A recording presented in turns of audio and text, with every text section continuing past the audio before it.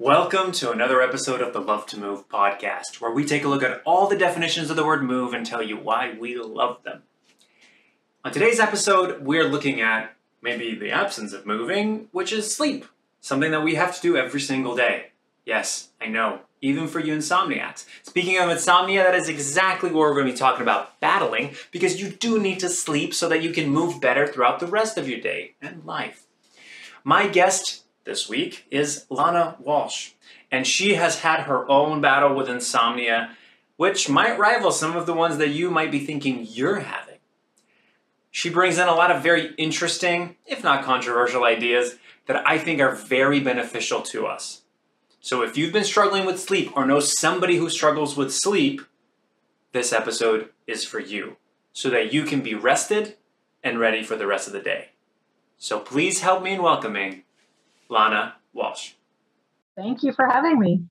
I'm excited to talk about sleep. I know you and I uh, before on on the the pre uh, recording call talked about how what what does sleep have anything to do with movement, and I immediately was like, sleep is what you need to do so you can move.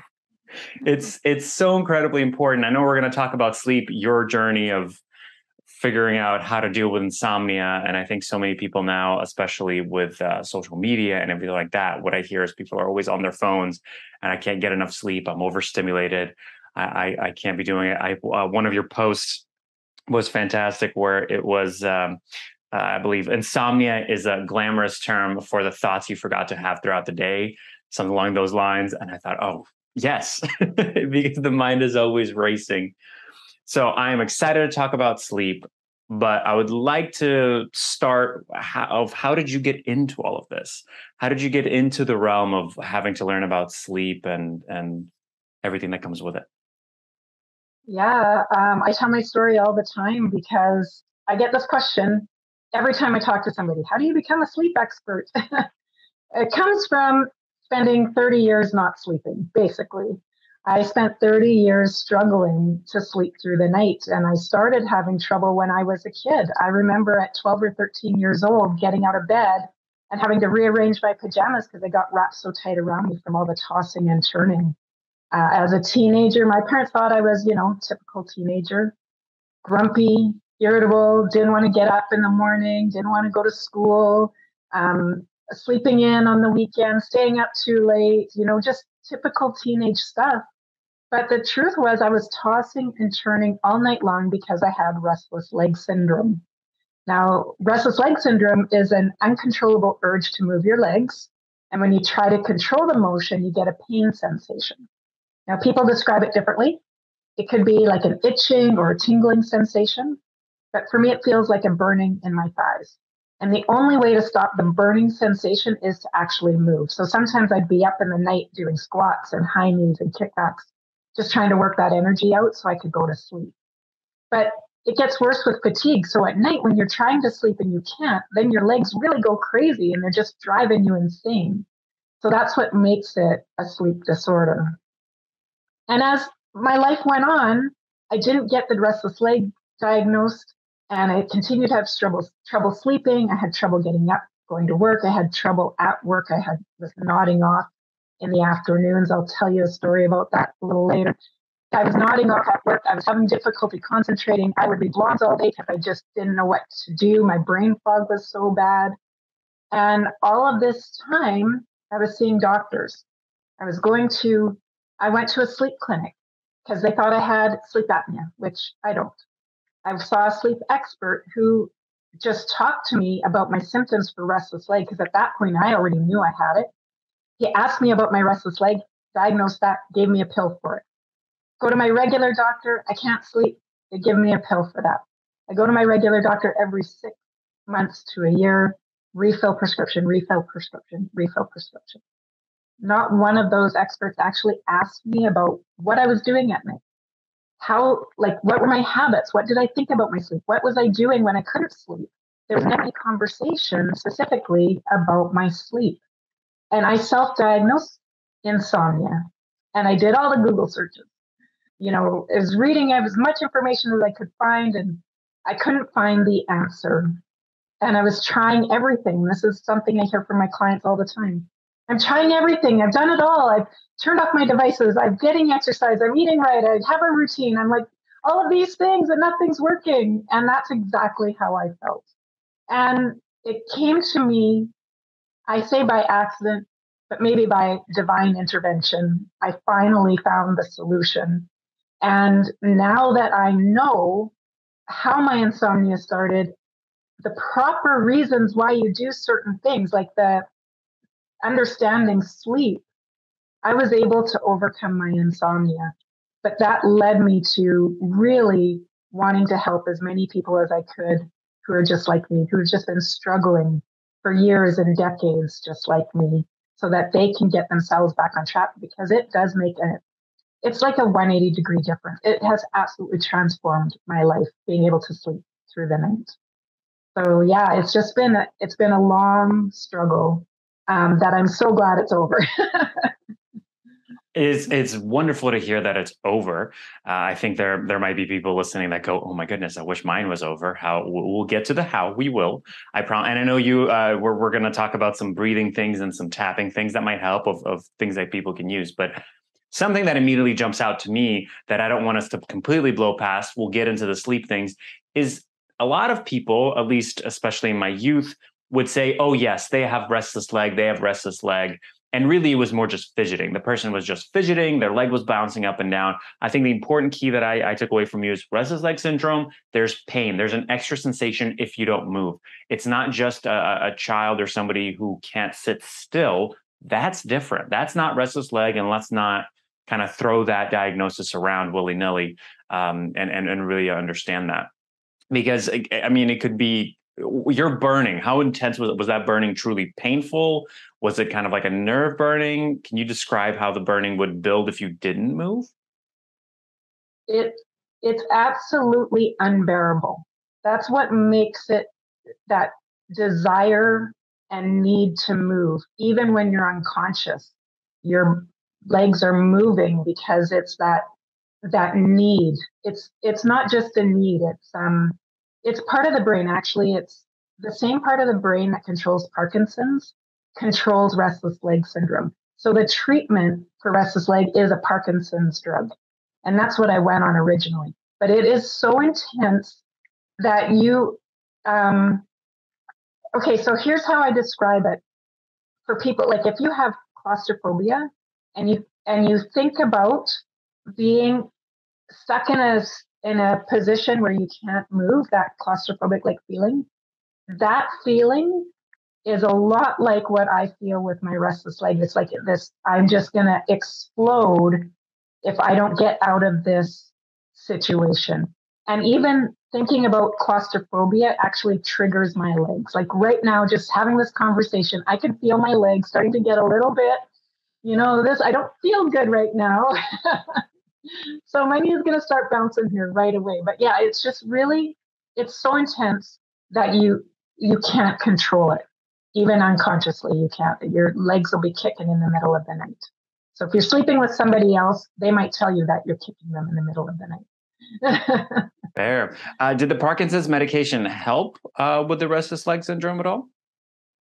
Uh, to be honest, I'm not sure. Um, I mean, maybe it was helping a little bit at night. I was taking it, um, it's a controlled release, so it slowly works through the night. And I was on a long flight overnight once, and I thought I'll take the drugs to see if that helps keep them calm. And I found I was still struggling through that flight. So I'm not sure if it was, you know, maybe it works when you're sleeping and it helps reduce that need to kick around. But when I was consciously awake, I, it just really was a struggle. Is that a, a scary kind of realization? Was there any point where you're going, does this mean I have Parkinson's? Or was there ever a battle of that in your mind? Uh, no, there's no relation to Parkinson's. I'm not predisposed to Parkinson's. I don't have Parkinson's. It's just the same region of the brain that is controlling the motion. So, no, I'm, I'm not worried about that. Okay, good. Well, let's move on on to the to the sleep part.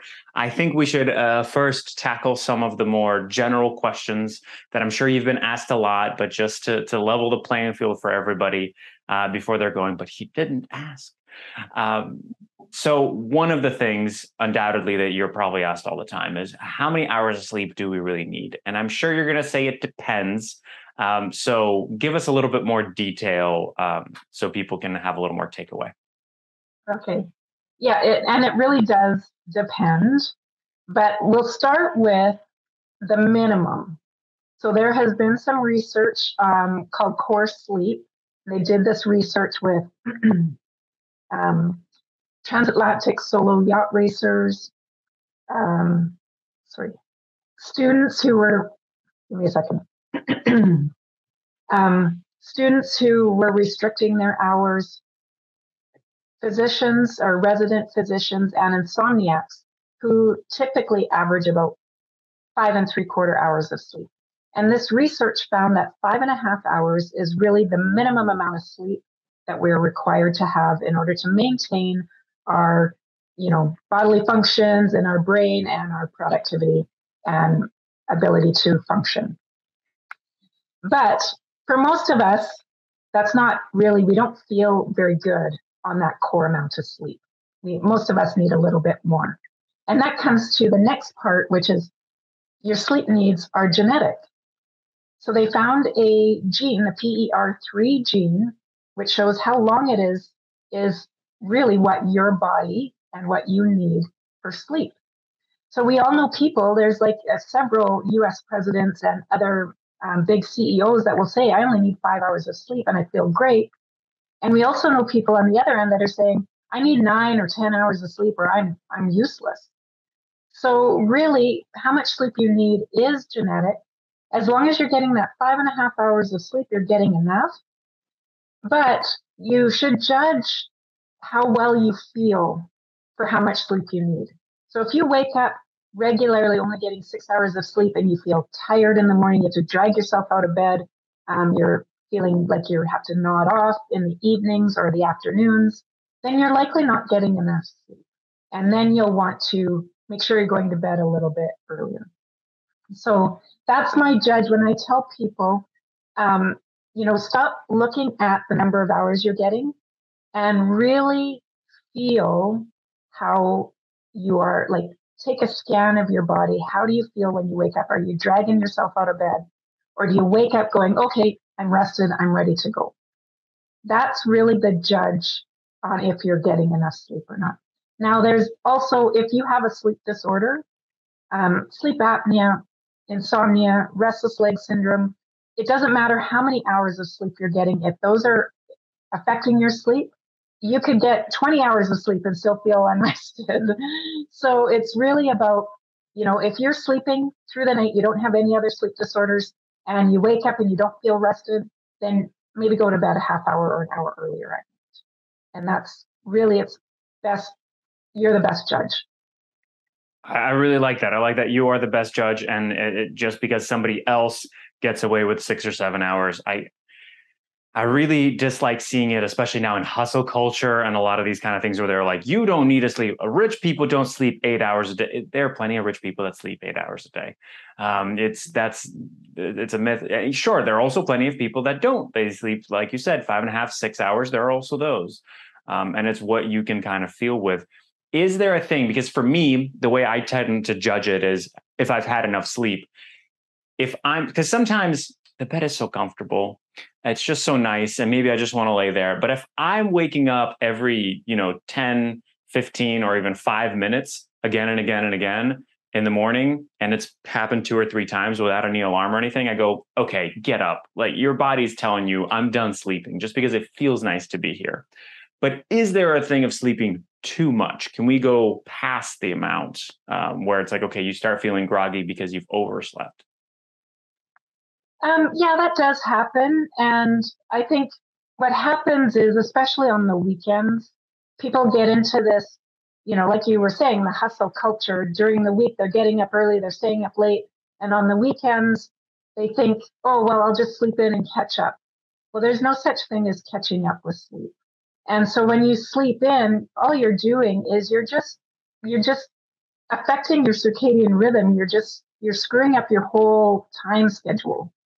And you're making it worse for yourself. So lots of people who are like early risers during the week and they sleep in on the weekend, they always find that they're less productive, have less energy. And it's because your energy level naturally fluctuates throughout the day. And if you're naturally really productive in the morning, if you delay that on the weekend, you're just you're screwing up, I guess, is the best way to say your natural rhythm. And now you're going to find yourself totally off kilter and it's not going to feel right or natural because you've just screwed up your natural your natural rhythm. Mm-hmm. So it's really it's about getting consistent sleep. But the most important part about consistent sleep is always getting up at the same time every day. So if you stay up late on the weekend because that's what you like to do, instead of sleeping in the next morning, get up close to the normal time and have a nap. You will actually have more energy that day. You'll feel better that day by getting up at your regular time and having a nap or going to bed a little bit earlier that night so you can get your cycle back on track how long does it if if you're saying okay i i'm going to start setting a specific time because my times are all over the place. Sometimes i'll get up at 7 sometimes 9 sometimes 6 sometimes 8 and i say okay that's it. I'm going to get up at 7 every single morning. How long is it going to take me to finally get into the groove where my body starts going okay 7 is the time that i now feel that we're generally getting up and if you do anything else that's when i feel thrown off? Well I guess it depends on. It, it really, I guess it depends. Most people can start. You know, you'll naturally start waking up at seven o'clock. You know, within a week or two, you'll start to naturally waking up at that time, as long as you're consistent. You're waking up at that time. The alarm's going off, and you're getting up.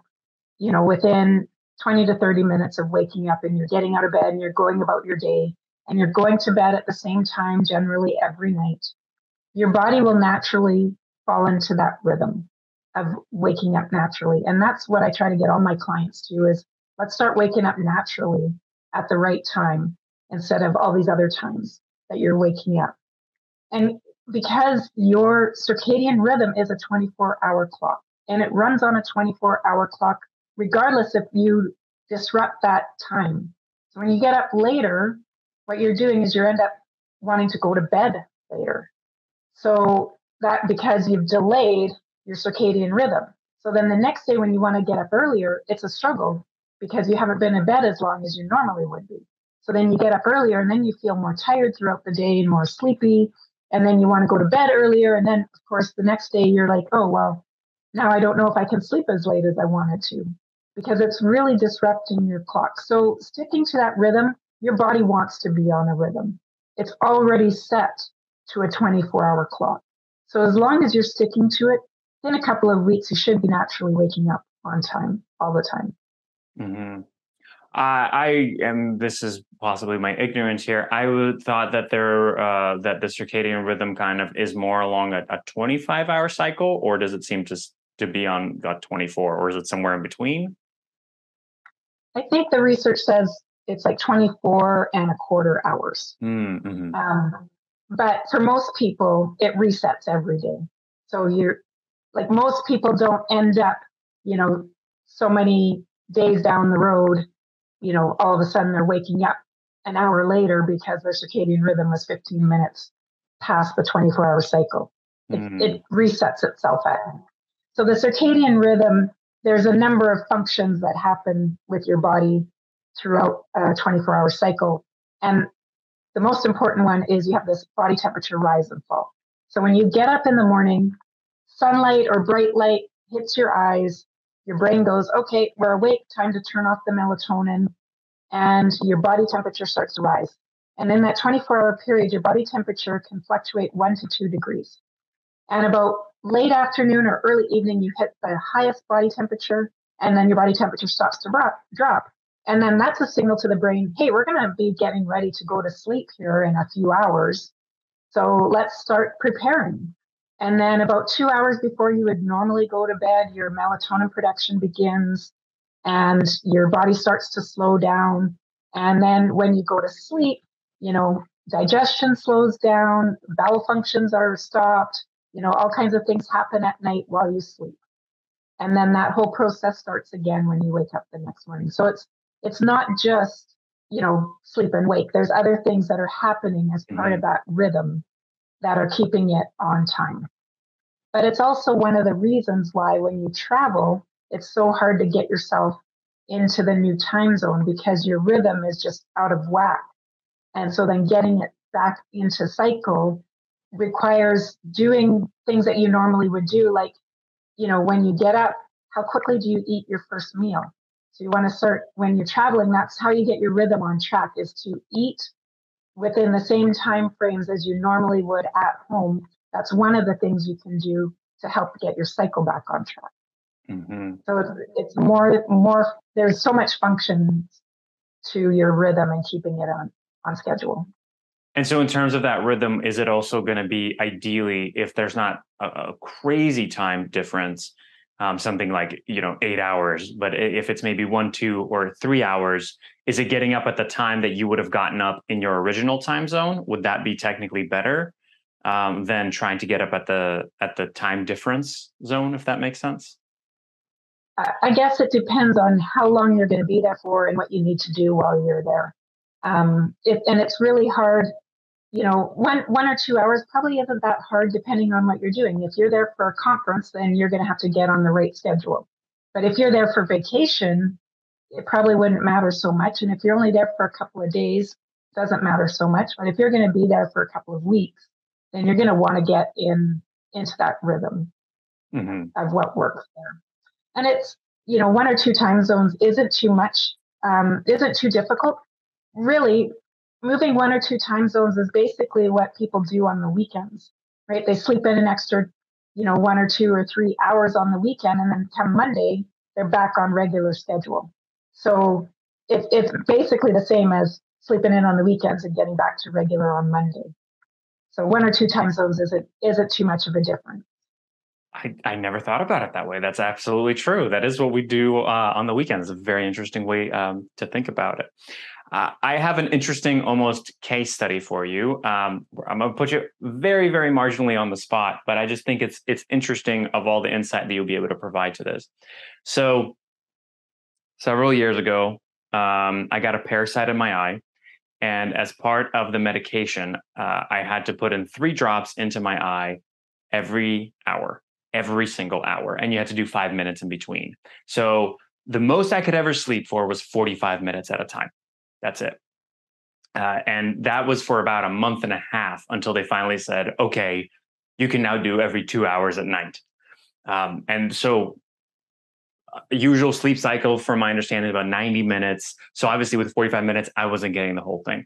What were the things that were possibly happening to my body and and and that weren't weren't being allowed to fully go through because I wasn't getting a full sleep cycle and only sleeping at 45 minute intervals. What was what was happening to me? wow, that's that's pretty intense. And for a month and a half, were you absolutely I just want to ask, were you absolutely exhausted every day? Uh, yes. Yeah. Well, the thing about it was that I was very light sensitive at that point, so the room was kept entirely dark the uh, the entire time as well. So, and most of the day I just spent in bed. Uh, so I was kind of just in and out of sleep the majority of the time. Now it's a blur to, to, to think of that memory, but yes, I was pretty exhausted the entire time. Mm-hmm. Yeah. So um, a normal sleep cycle of 90 minutes. There's five stages of sleep. Uh, the most important stage of sleep is deep sleep, which usually occurs around 45 minutes into a sleep cycle. So, however, our um, the sleep studies show on this core sleep research that your brain is designed to make up deep sleep at least 100% of deep sleep and at least 50% of REM sleep if you miss out on those two sleep stages because it is absolutely essential. So, likely, what was happening for you is in some of those 45 minute sections, you would go immediately into deep sleep or REM sleep. because your brain has to have it. But not having that full sleep cycle and always being woken up, that's you know one of the things that could happen with insomnia and it does make your sleep less restful because you know you can go a certain amount of days um, having really broken up limited sleep without it affecting your ability to perform or your health um, but at some point you really do need a good stretch of sleep so you were probably feeling a lot of exhaustion. You were probably feeling like you weren't very strong. You may have felt like a little, a lot of anxiety. You probably felt um, like you were having a hard time, like functioning, thinking, concentrating, focusing, um, being able to hold conversations. You might have had trouble with memory, right? Um, your reflexes would have been really reduced, like almost like being impaired there may have been some other things going on in your body. I know there's, you know, um, higher chance of diabetes, stroke, heart attack with long term, uh, really restricted sleep like that. Um, so I'm, I'm just not sure about that, but um, those could be some of the things that were happening to your body. Uh, definitely many of those uh, remembering back to it absolutely and a, a point on the exhaustion is I, I, did say that there came a point where they said okay every two hours um, during the night that first night and i had i had this alarm clock and it was it was these i thought it was it would be nice it was these little birds chirping that would go off every hour hated them very quickly um, wanted to strangle every single one of them not really but it was it was very annoying but that first night that they allowed me to sleep and get the full sleep cycle I think I slept I slept through most of those alarms. I think I slept for four four or five hours because the body was just going what yes c- catch up on all that. And it's true because i from what i understand you're you're getting dreams and everything is during that deep and rem sleep. And i was definitely having dreams at those times. So undoubtedly my brain was catching up. And that's nice to hear um, that there there was some of that happening because I, I was thinking well that's it. Ruin my brain forever. Uh, it's good to hear that our body can adapt so well when it comes to insomnia, um, undoubtedly there's this issue of I can't fall asleep or I can't stay asleep. Uh, usually, even if you kind of fall asleep and, and, get into it, is there is there a different way of kind of treating the, the, those two types? Are there other types of insomnia, or maybe there's a different categories of insomnia that I'm not getting at? Let's talk about that. Sure. So the basic definition of insomnia is taking an hour or more to go to sleep, which is sleep onset insomnia or to go back to sleep after waking during the night, that's sleep maintenance insomnia. You can have either of those kinds or both at the same time at different points in your life because of stress typically. Stress is the number one reason people can't sleep. And when I'm doing presentations, I'll ask, you know, have any has anybody ever felt that way? Had a night where they couldn't sleep for an hour or more, right? And uh, yeah, exactly. And um, everybody has. And it doesn't mean you have a problem with insomnia that you would want to come see someone like me. However, if it's going on three or more times per week and it's been going on for more than a few months, that's when it falls into the chronic definition of insomnia. So that's when you want to start maybe considering really working on what's happening. And if you also perceive a detrimental consequence to your in your day because of your sleep, so if you feel stressed, anxious, unproductive, unmotivated, unfocused, all kinds of things because you had a bad night's sleep. That's in the clinical definition of insomnia.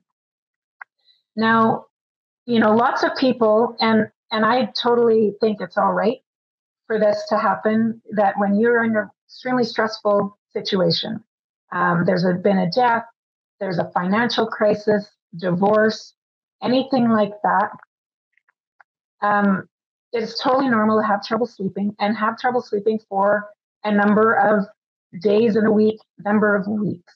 And I totally agree that if you go to your doctor and get sleeping pills at that time, that that's that's totally normal.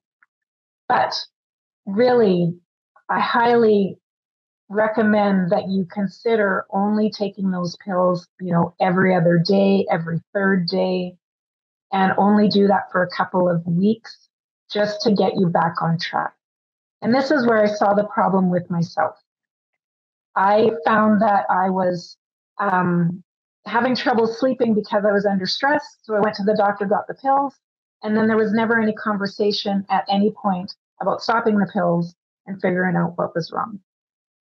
So, you know, if you're going to take pills, it's during a really stressful time, that's okay and be okay with that. But just know, promise yourself to not do it every day and to stop them, you know, after a couple of weeks. Now, for once you're in that, you know, clinical chronic insomnia and you want to fix that, whether you have sleep onset insomnia or sleep maintenance insomnia, the treatment options are pretty much the same. Um, what I do is called CBTI, Cognitive Behavioral Therapy for Insomnia. It's on the premise that insomnia is a learned behavior. So what happens is we're in a stressful situation, typically very stressful situation. We have trouble sleeping. We start to get anxious and frustrated about our sleep. We start to worry that we're not going to be able to sleep. We start saying things like, Oh my God, am I ever going to sleep? I'm so exhausted. I must be able to sleep tonight. Come on now, body, just do it. and you get into bed and you toss and turn, and toss and turn, and you can't sleep. And over time, your subconscious brain learns, just like Pavlov's dog, that the bed is not for sleeping. And so subconsciously, your brain starts to think that the bed is meant for doing other things. And it's all those things that are spinning out in your mind at night. It's the, um, you know, worries, the anxieties, you know, the to do list, replaying conversations in your mind, you know, thinking about all those things that are stressing you out or making you anxious. Being creative, that's one of the things that I get into at night. So your brain starts to learn that that's what you're supposed to do at night. We're not here to sleep. We're here to think about something. We're here to worry about this. We're here to figure out why that conversation went off the rails. And so then it comes down to the treatment being getting you back on track with learning to sleep through the night consistently. And with CBTI, that's a process of stress reduction and relaxation techniques, sleep education, and then specific strategies, what to do at night to get you through the night so that you can sleep consistently. The good news is it actually works pretty fast. I typically work with clients for six weeks. And by the end of six weeks, my clients are you know their sleep is 70% better or or even have cured their insomnia in just six weeks. So it really does it's very effective and it works really quickly if you know the right process.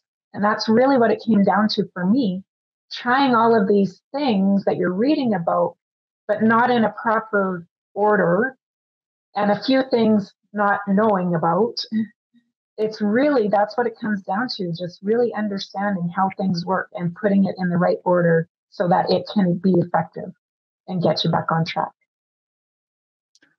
before we get more uh, into the CBT side of it, I just want to make a, a clarification. Um, when you were talking about sleeping pills, um, is that melatonin or is that something stronger than melatonin? And if it is not melatonin, how do you feel about melatonin?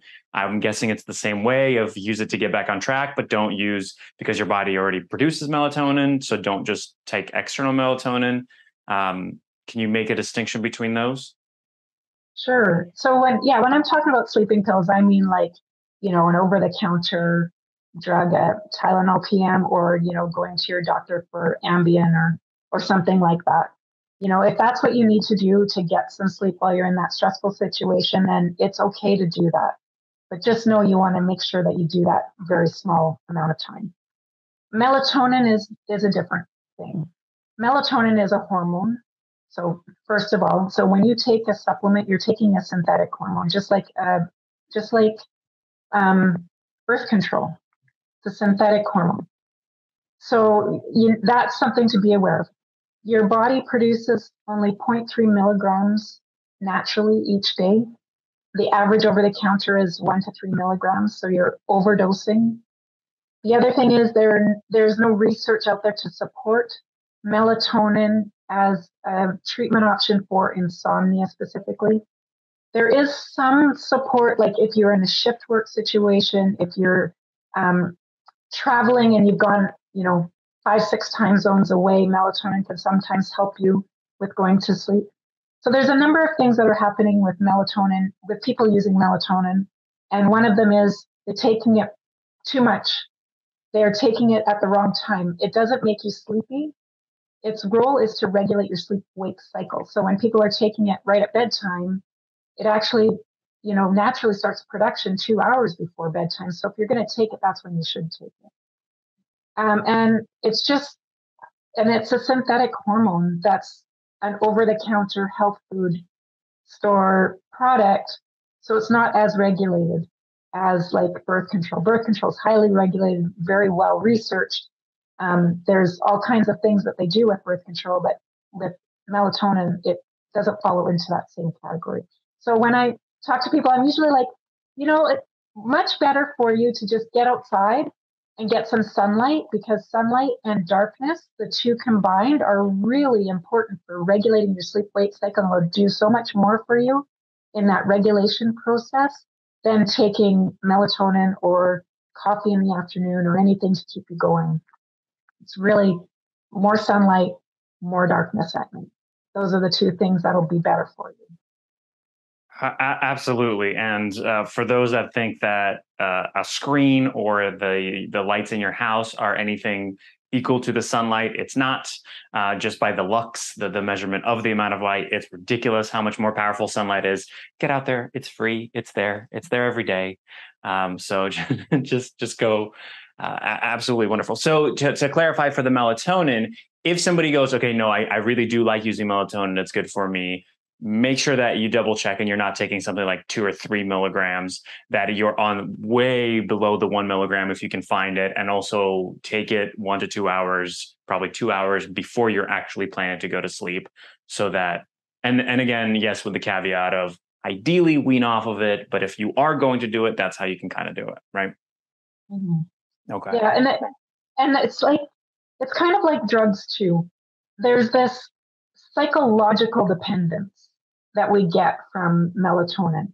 Your body is probably naturally producing enough melatonin for you, but psychologically, you're like, no, I, that that's going to help me. Like I hear from people all the time. Oh yeah, I need more. I need more. I need I need to take this. Well, mm-hmm. do you really, or are you just thinking you do? And what if you just thought I can sleep without it instead of oh I can't sleep unless I have it? change that thought process to, you know what, you can sleep without it. It's probably not helping you as much as you think it is. so just change that, just that, that thought process. That's one of the things I do with my clients too.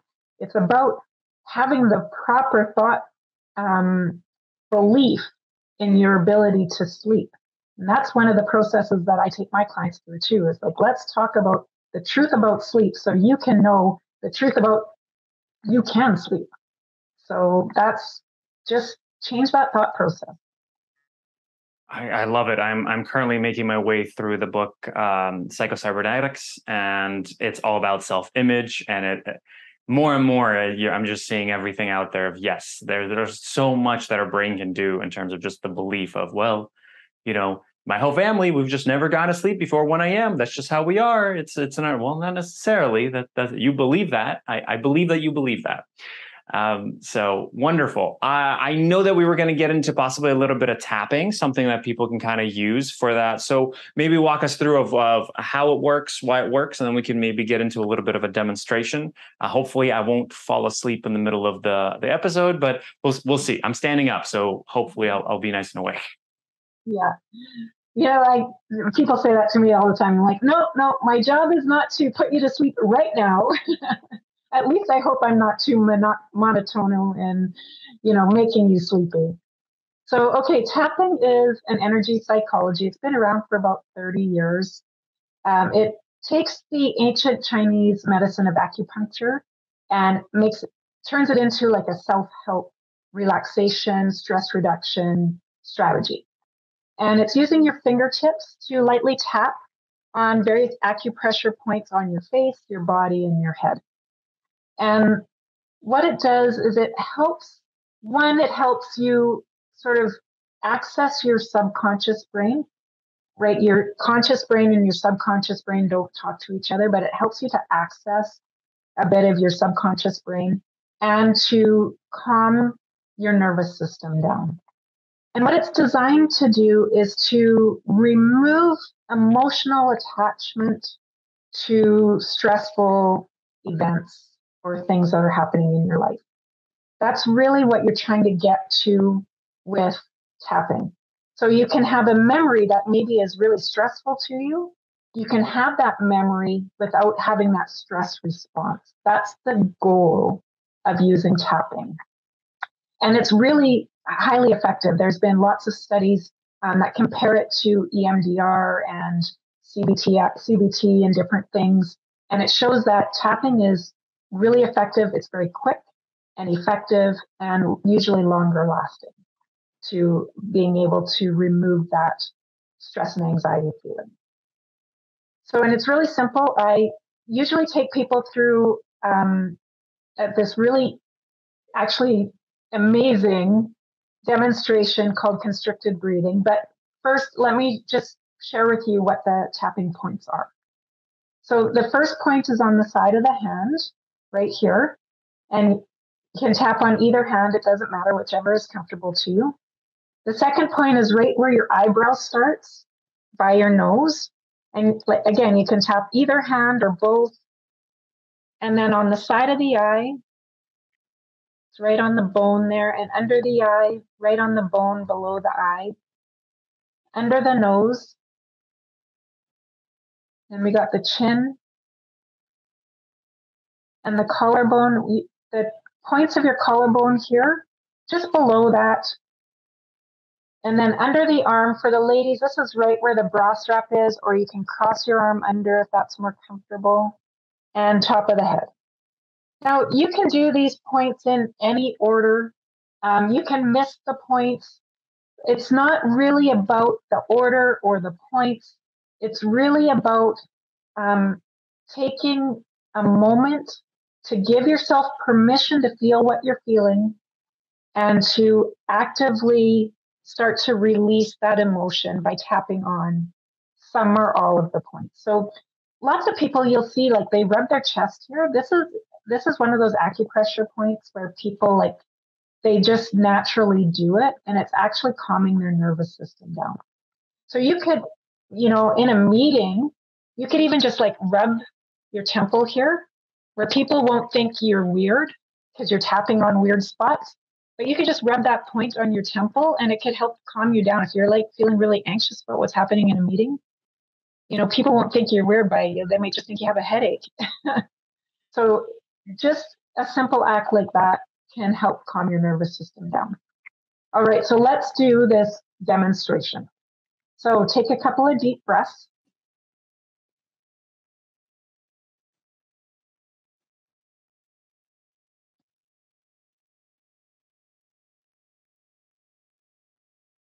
All right, now I want you to take a deep breath and I want you to take a bit of a measurement on how full you're making your lungs. One being not hardly getting any air, 10 being fully expanding the lungs.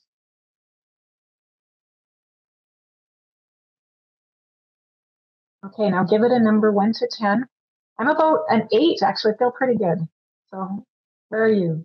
I think I'm about a seven. Yeah. Seven? Okay, so let's start. So we start on the side of the hand and just repeat after me. Even though I have this constricted breathing, even though I have this constricted breathing, I accept this feeling right now. I accept this feeling right now. Even though I have this constricted breathing, even though I have this constricted breathing, I accept this feeling right now. I accept this feeling right now. Even though I have this constricted breathing, even though I have this constricted breathing, I accept this feeling right now. I accept this feeling right now. Okay, eyebrow. Constricted breathing. Constricted breathing. Side of the eye. Constricted breathing. Constricted breathing. Under the eye. Constricted breathing. Constricted breathing. under the nose, constricted breathing. Constricted breathing. Chin, constricted breathing. Constricted breathing. Collarbone, constricted breathing. Constricted breathing. Under the arm, constricted breathing. Constricted breathing. On top of the head, constricted breathing. Constricted breathing. All right, now take a deep breath and do the measurement again.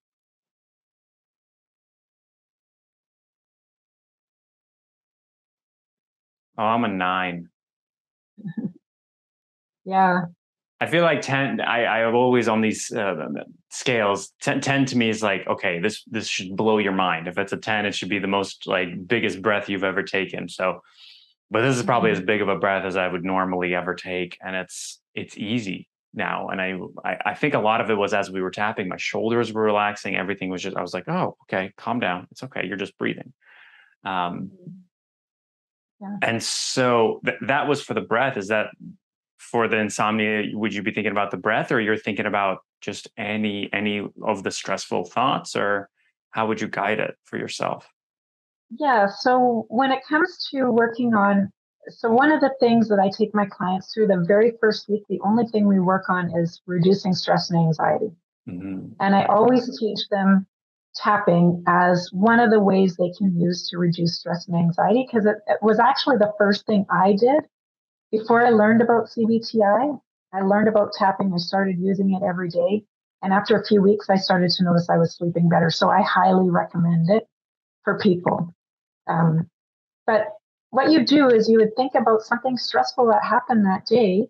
And, you know, if it's still causing you some trouble, you want to tap on it. So you would get to, you know, the emotion that you were feeling around that stressor. So, um, so okay, I'll just do an example.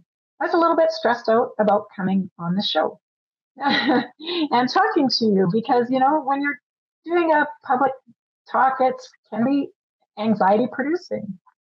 So then what I do is I ask myself, okay, I'm nervous about talking on the show.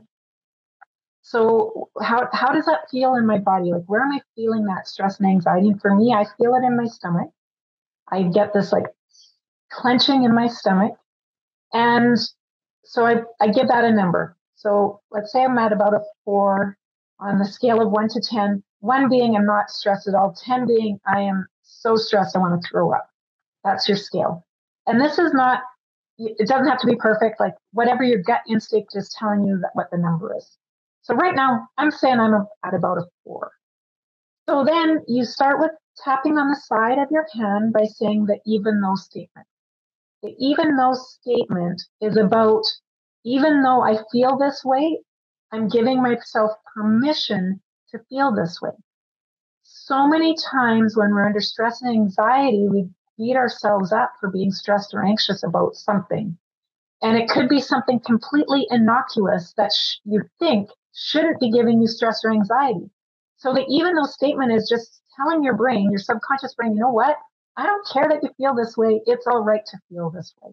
And that's why you do the even though statement. So even though I'm feeling stressed and anxious about being on this show, I am okay with that. I'm comfortable with that feeling. And you do that three times. And then you just tap on the points, just saying, I'm feeling stressed about being on the show. I'm stressed about being on the show. I'm stressed about being on the show. And you do all of the points. And then you take that measurement again. If you listen to other people do tapping, um, there's an app I share with my clients, and they tend to do a lot of, say, a lot of different things through the tapping process. They'll say, you know, oh, you're stressed to be on this show. It really makes you anxious because you sometimes don't know what to say. And so you know, the stress on this show and they like do like a whole conversation basically on tapping. You don't have to do that. That that gets people like really anxious about even trying tapping. just say, I'm stressed. You can even just say I'm stressed. You don't even have to say on the show. You could just say, oh, the stress. So much stress. This is just stressful. Stress, stress, stress. And your brain already knows that you mean the stress about the show. Mm-hmm. So it's really it doesn't have to be as complicated as that. Just I'm I'm okay that I have this feeling, even though I have this feeling, I'm comfortable with that. I accept it. And then I'm I'm stressed. That's this really can be that simple. And you don't have to do multiple, you can do just one thing like we did with the breathing and take another measurement. And if you still have anxiety, then do it again. Just repeat and just do it once. You don't have to tap 15 rounds at once. Just tap once, see how you feel. Repeat if you need to, two or three times. Get that anxiety level. You want it to be in the, you know, two, three or lower. Uh, and the more you do it, the more your anxiety and stress will come down. And I'm sure as if it, if it feels nice, keep keep doing it. It's obviously uh, working.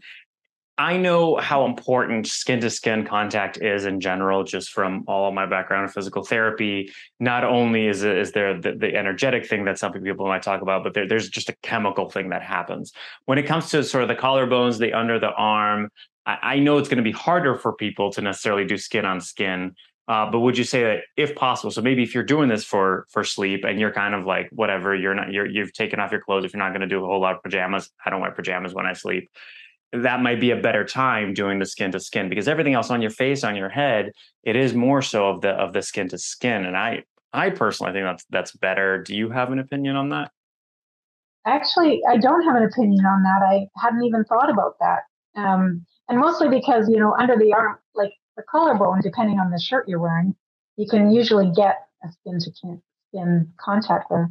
But the end of the arm would be very difficult to get skin to skin on a regular basis yeah. But I do have another tip though for sleeping. If you're in the middle of the night or lying in bed and having difficulty sleeping, you can also do the finger squeeze. So just squeezing your fingertips on either side of your nail. So that, that first knuckle on either side of your nail, you can squeeze through each of your fingers, including your thumb on both hands, the same acupressure points um, that are attached to all the other acupressure points that we're using. So this one is another one you can use in a meeting with your hands under the table. Um, you can be squeezing your fingers to help reduce, or sitting in traffic, you know, or the grocery store, the lineup's really long. You can just give your fingers a quick little squeeze just to like, okay, you know what? I don't need to be so stressed about this. This is life. so that's another one I use. And at night, I tend to tell my clients, you know, just remind yourself you don't need to think about whatever it is you're thinking about. You're going to think about it tomorrow. Time to sleep and squeeze your fingers. and is this a um, a sustained squeeze, or is this kind of like a pulsating squeeze, kind of like the tapping? Yeah, I do pulsating. Pulsating. Squeeze. Okay. Yeah. Just that's I I instinctively started doing that, and I thought, well, maybe uh, it's it's a whole okay and it, it does it, it feels nice and there's there's sort of a, a rhythm with it. Um, we've gotten several times on the show into discussion of uh, adhd neurodivergence some of those things and i know that stimming is is something important. A lot of times that's usually a very kind of repetitive task and so with the tapping with this kind of squeezing it's almost it's it's seeming to tick off a lot of different other boxes of it can be very very helpful in that sense.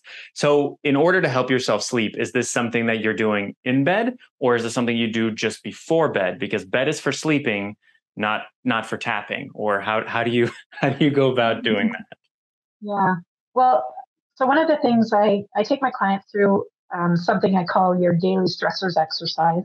So every day writing down any of the things that might have caused you some stress that day.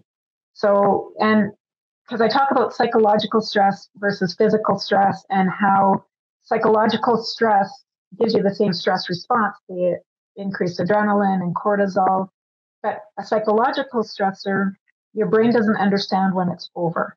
You know, physical stressor, yeah, you survived the physical threat. Your your brain goes, okay, that's over, and it releases the cortisol the psychological stressor, you know, getting in a fight with your partner, yelling at your kids, nasty social media comments, um, something goes wrong at work, those psychological stressors, your conscious brain might say, okay, I'm done with that. I apologize. You know, it's it's over. The subconscious brain goes, uh, uh, uh, yeah, wait a minute. I want to think about this some more. Right. So here's an example. have you ever done anything as a as a kid or a young adult where when you think about it today, you go, "Oh God, I can't believe I did that. I'm so embarrassed." Right? You have those things. That's a psychological stressor that just like rears its ugly head every once in a while. It'll come up and you'll go, Eek! and you get that shot of adrenaline and cortisol into your system, right? So what I try to encourage people to do every day is just write down everything that caused them stress. They can think about work, relationships, finances, health. Think about the different stress emotions, any emotion other than really happy. You know, so when you're sad, embarrassed, frustrated, irritated, angry, like all those emotions are all part of that stress response. So just write down everything that happened. And then I tell people, okay, so read through that list now. And anything that gives you that immediate gut check, put a check mark beside it. And those things that give you that immediate gut check right now are things that your brain are more likely to bring up sometime in the middle of the night or during the night, maybe not that night, maybe another night, but they're more likely to cause you additional stress. But they're also the things that have kept your cortisol level elevated. And cortisol is really bad for a lot of things, including reducing deep sleep. So making your sleep lighter and more easily disrupted and less restful. So those things that give you that gut check, those are the things you tap on. So even though I got that email and it really pissed me off, I'm okay with that right now. You know, that email was just really oh man, I just want to punch that guy in the head. but I'm okay with that right now. And then just tap on it. And I really do recommend you do that every day. And one of the good things about tapping is the more you work on these things, the fewer and fewer those things will start to bother you in the future. So when you get that email from that person, anybody in the future, if you've tapped on it a few times, your brain is more adept at releasing from that emotion. So for me, for example, I do find like um, some of my relationships that I haven't worked on specifically, because I've done so much other tapping work, I don't get the same emotional response around those people anymore. That's the advantage to tapping. It really helps you remove the emotion from things, whether you've experienced them already or if you experience them in the future. So that's the what I love about tapping. So yeah, I, I would recommend you do that. You know, take an hour before bed and get into a routine, work on your stressors, write your to-do list so it doesn't keep you awake at night. Give yourself some time to relax, rest, get into sleep mode, then get into bed. And be turning out your light within 30 minutes of getting into bed. So whether you, if you read for 15 minutes in bed as part of your relaxation technique, that's fine. Just turn out the lights within the 30 minutes so you can go to sleep. But then in the middle of the night, if you're, or like, you're, or you're struggling to go to sleep, you know, get up and read, maybe finger squeeze to remind yourself that you can, whatever it is that's spinning out in your mind, you can think about it tomorrow, or you'll remember to do it tomorrow, or whatever it is. It's time to sleep. Go back into a relaxation technique and then try to sleep again. And same in the middle of the night. So the rule of thumb is 30 minutes. So mm-hmm. if it's taking you more than 30 minutes to go to sleep, do something relaxing and try to go back to sleep. Same with in the middle of the night, you're awake more than 30 minutes, get up, do something relaxing, try to go back to sleep. You wake up in the morning, you want to be getting out of bed within 30 minutes of waking up. Like 30 minutes is your rule. And that doesn't mean watching the clock though. That's another thing too. Don't watch the clock. Just go on your best guess judgment. I've been trying for a while. It's time to relax some more and then go back to sleep. It's interesting how much uh, of what you're saying I almost kind of naturally have done and have just learned from my body. Uh, in terms of the the 30 minute is it, it happens rarely. It it maybe once every couple months is I'll wake up in the middle of the night and then I can't seem to go to sleep. And usually my my rule is about 30 minutes. If for 30 minutes I can't seem to go to sleep, I usually get up and go work or some whatever whatever is that thing that's keeping me up or maybe that I'm thinking about. I'm just going to go and do it uh, at that point because I'm not well I'm not sleeping. Uh, and the funny part is within most likely within 20 minutes rarely do I stay up for hours. Within 20 minutes of doing that thing, my body goes, oh we're done with this we don't want to do this right now let's let's go to sleep and i also really like you talking about taking that hour of kind of like the pre-sleep ritual as part of. Yes, relax, but I think the other piece that people miss is plan for the day ahead so that you get all your worries out so that you're not thinking i have to remember to i have to remember to. You did. You already put it down um, and you've kind of uh, gotten it out. Something that you mentioned and i'm sure you're asked this possibly even more than how many hours to sleep is uh, you mentioned about cortisol. Cortisol is is important in waking us up in the morning. It's not uh, good to have high levels of throughout the day but the other thing that people use to wake themselves up in the morning is caffeine um, can you talk to us a little bit about caffeine? I, I know about kind of the half life, when you should stop drinking caffeine throughout the day, but just give us the rundown of how you advise people around the use of caffeine. Yeah, so well, caffeine obviously is a stimulant. It's meant to like give you a jolt within about 15 minutes of drinking it. So, you know, that's why people middle of the afternoon are like, so first of all, naturally, everybody, 100% of people around two, three o'clock hit a slump. So most people are ready to grab that caffeine. Um, so uh, it's not really great for you though at that time of day because it is six to 12 hours to metabolize. Most people think it's six, but it could be as much as 12 hours. And the older you get, the harder it is for you to metabolize caffeine. So I tell people, you know, two to three cups of coffee at the most, you know, stop by noon or you can experiment. For me, I know it's three o'clock. I, if I drink caffeine after three o'clock, I'm not sleeping that night. So you can experiment a little bit to see where, where it is for you. I tend to stop drinking by one, um, you know, and it normally uh, by noon. But there is this half life too, right? Takes um, six to 12 hours for it to hit that half life.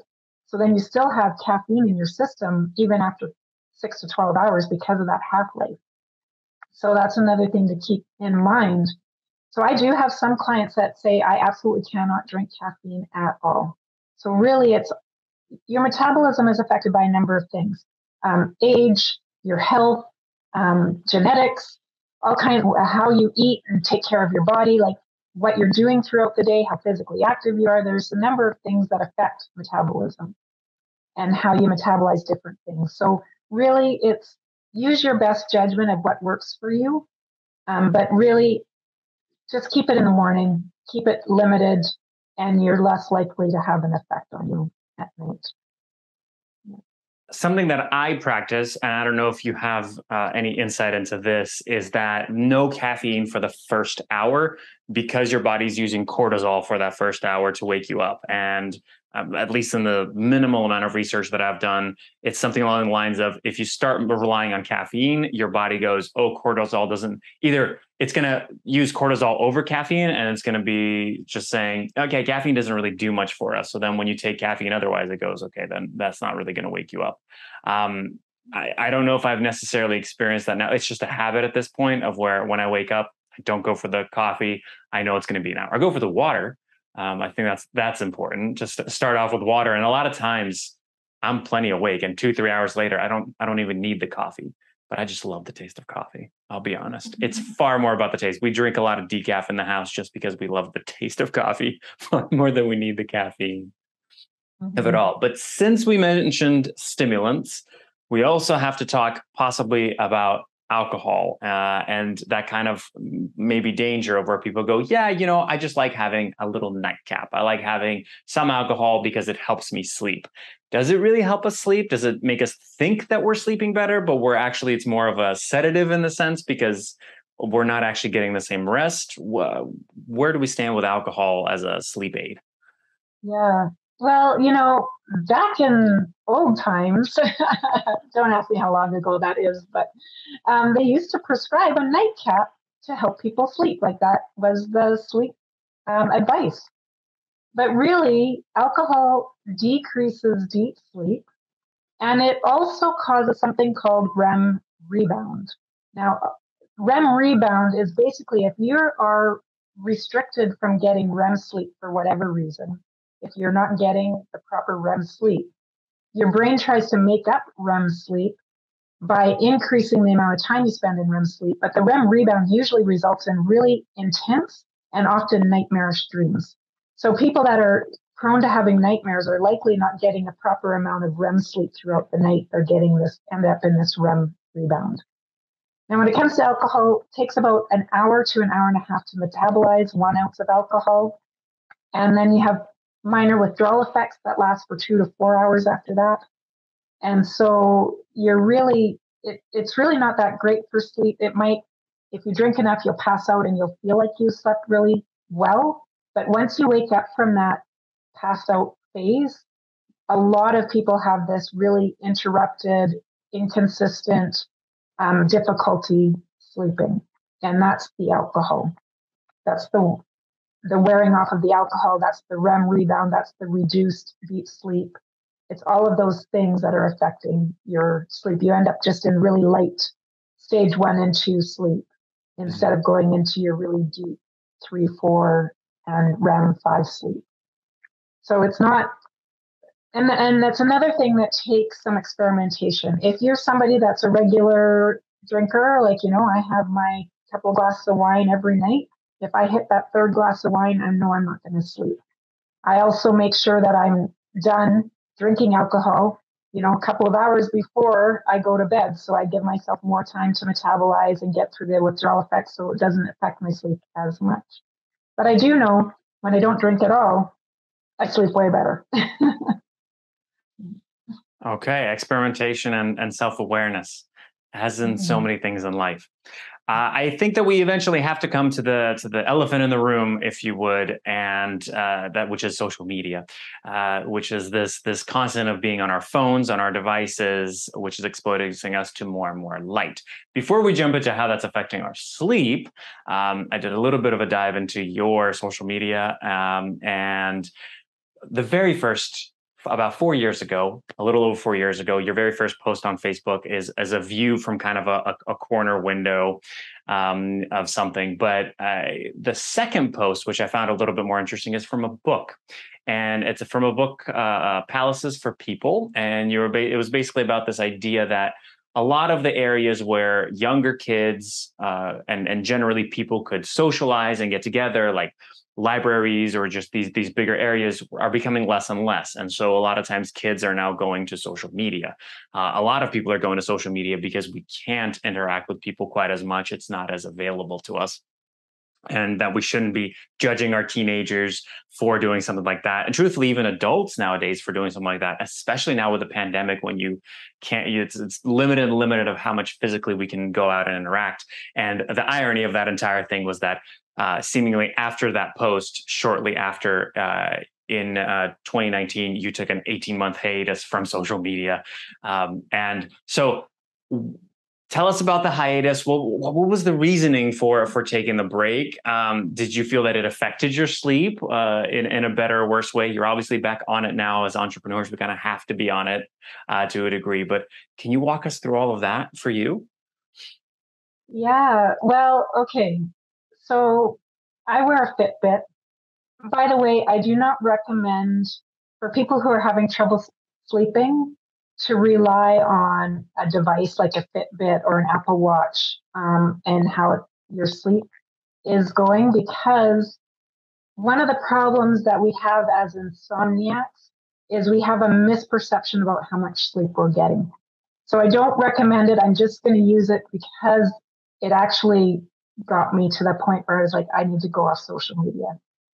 A Fitbit, if you've been inactive for two hours, it assumes that you are asleep. And then it starts recording from those two hours your sleep pattern.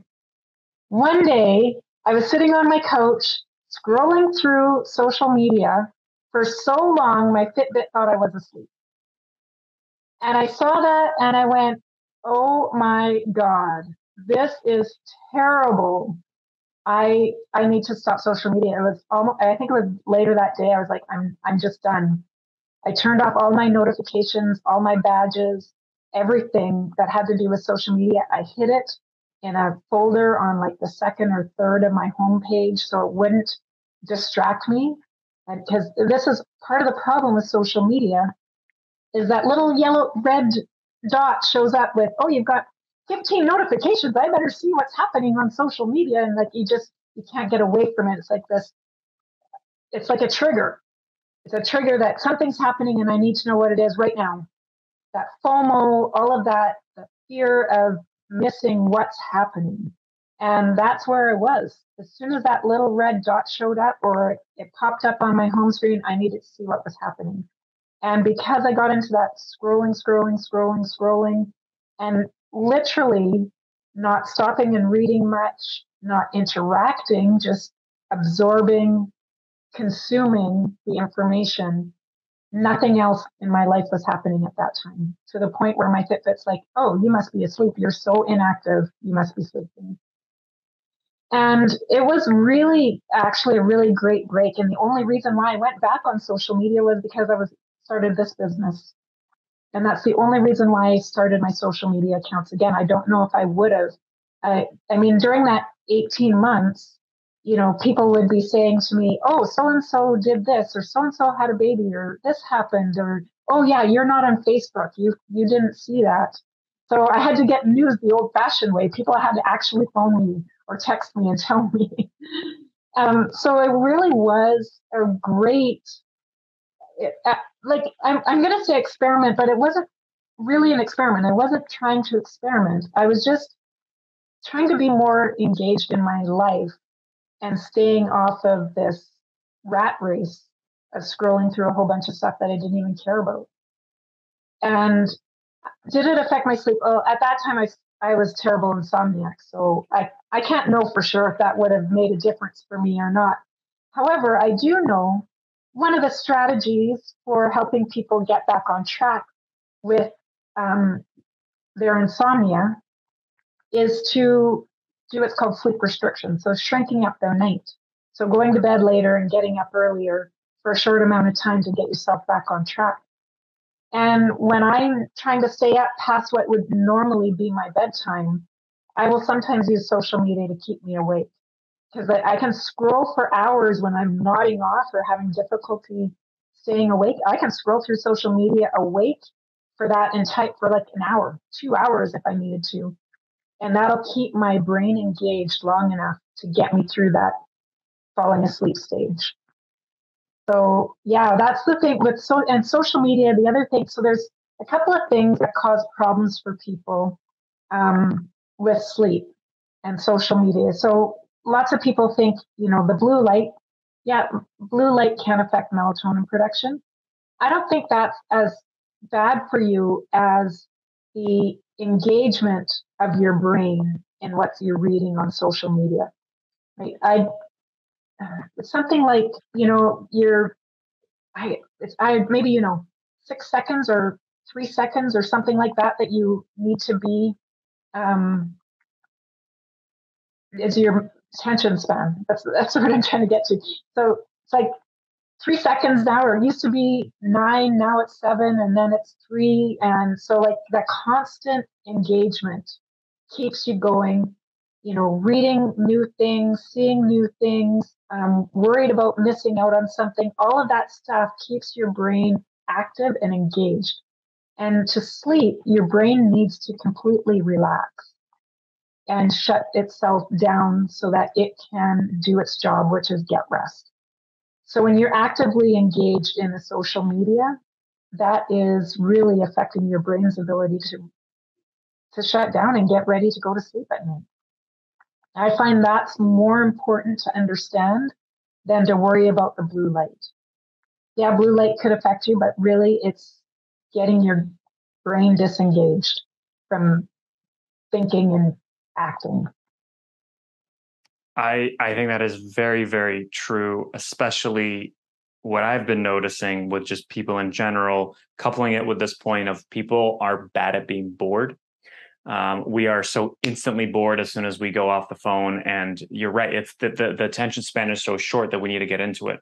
So when you're saying 30 minutes turn everything off 30 minutes before sleep. 30 minute that is like a year in attention spans of thinking of oh i can't look at something i can't think about something i, I turning it off. How could i possibly do it? I think that there, there is i mean we could talk about this for hours of are people also getting away from it because they don't want to be with their own thoughts? Because they have their stressors their fears their anxieties and they're going no no no no no let me escape into this quick thing that's that's easily distracting me from so much of that all all sorts of various different topics um, around it. And I, I do think that if people can be a little bit more engaging you could if you have a lot of self-discipline use social media to train yourself up and go okay i'm going to engage with all this content. I'm actually going to participate into it. But unfortunately the vast majority of people just scroll scroll scroll. My question is then if we, for example, my wife loves using uh, YouTube, she'll put on YouTube videos to help her fall asleep. I personally do the same thing sometimes when I know I'm going to have a hard time falling asleep. It's very specific to just certain YouTube videos. They just help me fall asleep very, very quickly. Good, bad, unsure, maybe try to get away from it. What are your thoughts? My thought is if that's the thing that you need to get yourself relaxed to go to sleep, then use it. Mm-hmm. I don't ever want to really, it's not really so much about changing your habits unless they are not working for you. Mm-hmm. So if that's just, you know, if it if it's not really helping you go to sleep, then why then don't do that. But if it is something that you need to do to help you go to sleep, just like watching TV, in bed before you go to sleep, it's fine. Just set a timer. So if you fall asleep while it's going, it shuts itself off. You don't ever have to, you don't have to worry about shutting it off. You don't have to think about it. It's not going to wake you up later in the night. You know, that's fine. The point is to find a habit that will help you relax, get your brain into relaxed, stress free, ready to sleep mode. Mm-hmm. So I compare it like I don't know how long ago this was, 10, 15 years ago, you know how they used to talk about using your commute to shut off work so you could be home and be present with your family? You need to do the exact same thing at night. You need to have this buffer zone where you shut down being active, awake, engaged, and ready to go to sleep. And so at least 30 minutes of just really shutting down what's happening during the day, relaxing yourself, getting yourself prepared so that when you get into bed, you're already in that relaxed state and ready to go to sleep. And that could be reading, it could be building a puzzle, doing some sort of, you know, hobby, watching a neutral TV show. This is something I always tell people, you know, don't watch a horror flick if that keeps you have to keep the lights on afterwards. Don't, you know, watch an engaging documentary if that's going to keep you your brain going. Don't have, you know, emotional or intense conversations. I had a client, her and her husband would get into bed, and that was the only time they had alone, and they'd have all these conversations, and then she couldn't go to sleep. Well, you're too active, right? You, you need to do these things that are preparing you to slow down, be relaxed, and then you can be ready to go to sleep.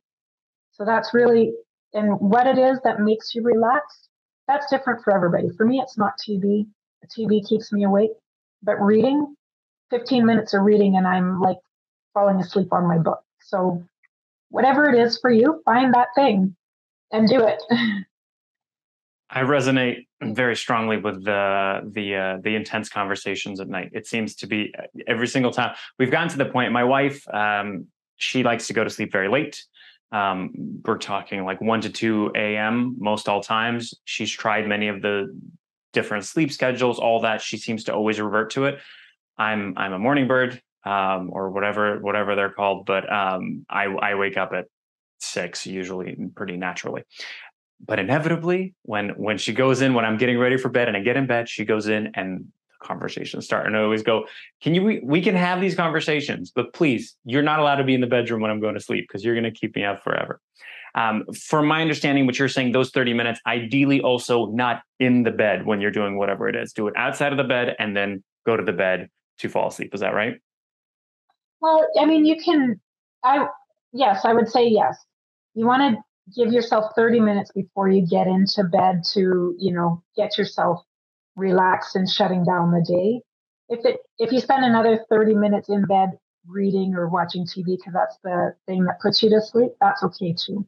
Mm-hmm. But give yourself at least 30 minutes before you get into bed to get yourself ready. And ideally, you're not even getting into bed until you're ready for sleep. So until you're sleepy or drowsy, that means nodding off, excessive yawning, like your body is prepared to go to sleep when you close your eyes. That's the ideal time to get into bed.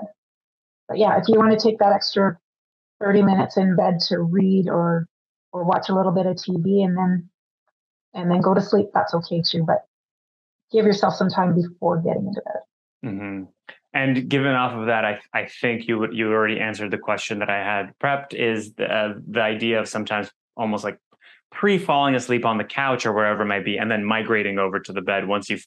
Sometimes couches are just more comfortable.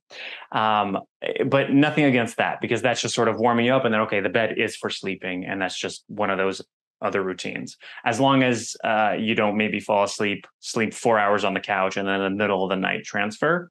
Uh, how do you feel about falling asleep on couches or it's sleep? It doesn't matter. um, okay. So I guess it depends on what time that's happening. Mm. You know, for my dad, it was so funny. He's like, I can't sleep past 4 a.m.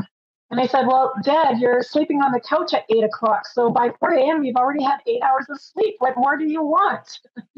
so, yes, it comes down to what. Um, what time is it and what time do you normally go to bed and what time do you normally get up so you know i i don't recommend if you're falling asleep on the couch at six o'clock by the way so this is actually a good thing that we're talking about this i do think naps are good and especially for people that are really struggling with your sleep, if you need a nap, that's okay. Just make sure it's before four o'clock and you're not napping for more than 20 to 30 minutes. So, you know, that's okay. So if you're falling asleep on the couch at six, it's not ideal. not only is it not ideal, it's going to really disrupt your sleep that night. So, um, falling asleep on the couch right at bedtime, not so bad. As soon as you realize that you're asleep, go to bed. Or if you find yourself like nodding off and can't stay awake, go to bed. That's that's your signal. It's time for bed. As long as it's close to your bedtime.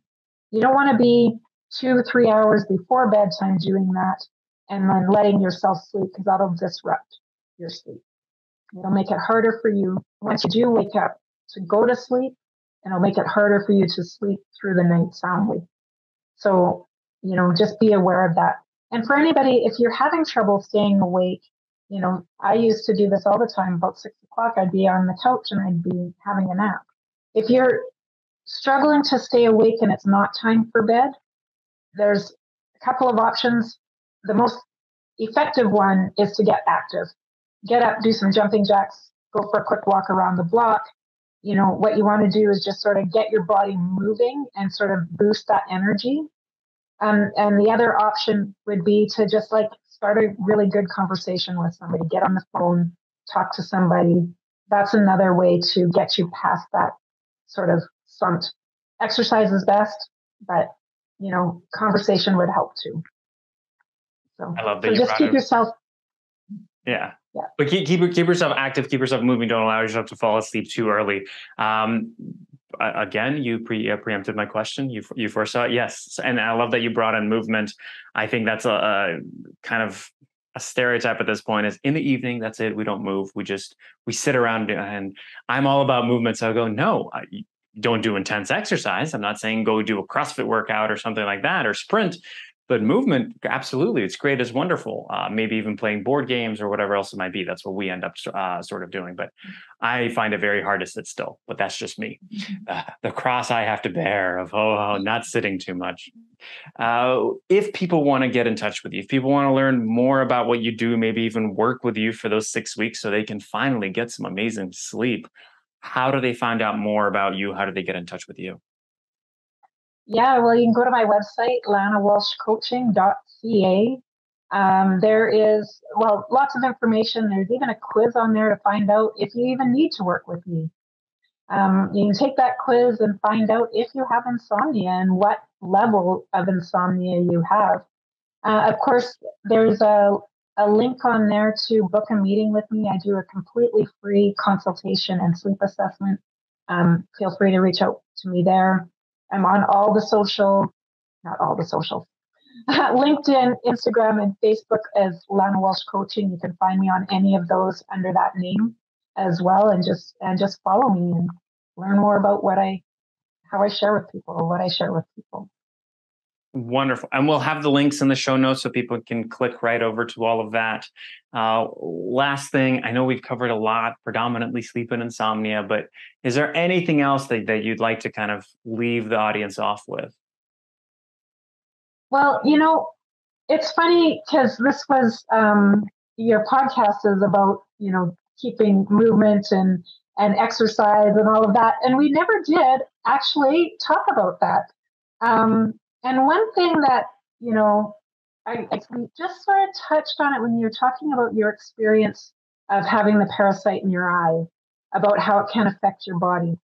And one of the things that I talk about with people, when I'm talking to people with insomnia, they are so stressed and anxious about their sleep that one of the things I like to share with people is let's not be so anxious about all the other things that get affected by your sleep. And one of those is your health. Because there are a number of things that affect health that are correlated to sleep, but not a direct cause and effect of sleep. So, for example, your health is affected by your genetics. It's affected by your environment. Do you have access to clean water? Do you have access to healthy food?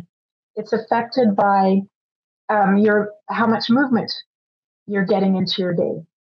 And sleep does play a role in some of those things. For example, if you're not sleeping well, you don't have the energy to work out. So, yes, okay, so sleep would maybe affect your ability to exercise, but there's so much more that goes into whether or not you're going to be a healthy person, whether you're going to get cancer or heart disease or all of those things. That is not just because of sleep. So that's one thing I do like to leave with your audience is that because this is a health podcast, to, you know, your sleep is important, but don't give it all of that weight that lots of people do. It's just one part of the puzzle.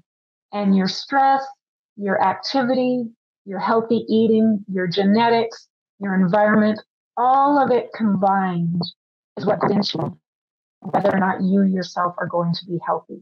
So if you can keep in mind all of those things and still do eat right, exercise, and, you know, have clean water, all of those things, if you can access all of that, your sleep is just one piece of the puzzle. So that's what I want to leave your audience with. You know, being active is best. If you're having trouble sleeping and you're having trouble being active, it's okay. That's just a short term thing. Come work with someone like me and I'll help you get back on track. But that's not your only so it doesn't make you too anxious about your sleep. That's the most important thing. We don't want you to be any more anxious about your sleep. We want you to do your best to sleep as well as you can and take care of your health in other areas where you can. So that's what I want to do. Lovely. And and what I love about that that entire answer and that that concept is all those things also intermingle. So, in the sense of where exercise and good diet improve your sleep, good sleep also helps your exercise and also helps your diet and your body to function well with the food and your digestion. You even mentioned digestion before, um, with when you're not getting enough sleep. So it, it all all those little pieces all intermingle as well. I, I know we didn't get to some other things like curling. Um, so, but I, I, think we've just gotten through so much really important information. And thank you so much because I got more out of this than I ever anticipated. Um, so thank you, thank you so much for being on the show. Well, thank you so much for having me on the show. It's been a wonderful conversation. I hope that you found this episode beneficial. I hope that it didn't put you to sleep, but gave you some tools and ways that you can get to sleep later today. I know that I've been using the tapping. That really helps, especially when I'm uh, very anxious or have had maybe too much caffeine. It just brings me down. It's just, it's a very nice technique, um, as well as the breathing. Um, for me personally. If you found this helpful, one of the best ways that you can support me is rating and reviewing this podcast wherever you are or leaving a comment because that's what it lives and dies by. Apple Podcasts is the best place, but honestly, anywhere that you find it, interaction is everything. And I want to spread these messages to more and more people. And as always, until next time.